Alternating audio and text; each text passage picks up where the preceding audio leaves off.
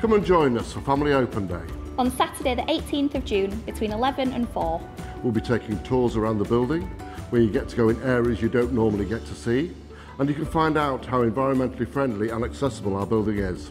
We'll also have lots of arts and craft activities available for people to take part in, using recycled materials or things that can be used again in the future.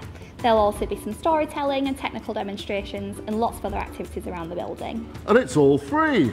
If you'd like more information, you can look on our website. We look forward to seeing you soon.